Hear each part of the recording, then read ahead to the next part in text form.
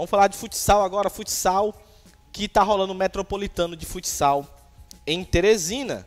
E o Campo Largo e a ABB Mesa 14 inicia um retorno com vitória, tá bom? Futsal que também sempre tem vez aqui no nosso, no nosso programa. E o Campo Largo aí que passou de fase na Copa do Brasil. É o Verdão também, a dá toda a ênfase, beleza? Verdão vence Cajuína e Aurinegro derrota Bendito na abertura do segundo turno da competição. Na sexta rodada do Campeonato Metropolitano de Futsal, Campo Largo goleou o Cajuína por 8 a 1 e o ABB Mesa 14 derrotou o Bendito por 5 a 2. As duas partidas ocorreram no ginásio Petrônio Vasconcelos, no bairro Lourival Parente, na zona sul de Teresina. Você está vendo imagens aí dos jogos de ontem, beleza? E a classificação Bendito tem 9 pontos. A ABB Mesa 14 também tem 9, só que tem menor saldo de gols.